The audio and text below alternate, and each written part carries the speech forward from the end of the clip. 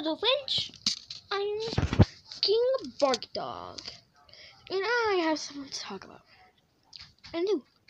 See, I've been noticing millions upon millions of people my I've been, I went to millions of people and told them and asked them be quiet. And asked them, what do you want in life? Some say money, some say intelligence. Don't worry there, you little heads. There was something new in town. I am announcing the doggy daycare. Daycare. Enjoy your children staying there and even get some of your own to both a daycare and an orphanage. Please have a beautiful sight to behold in life.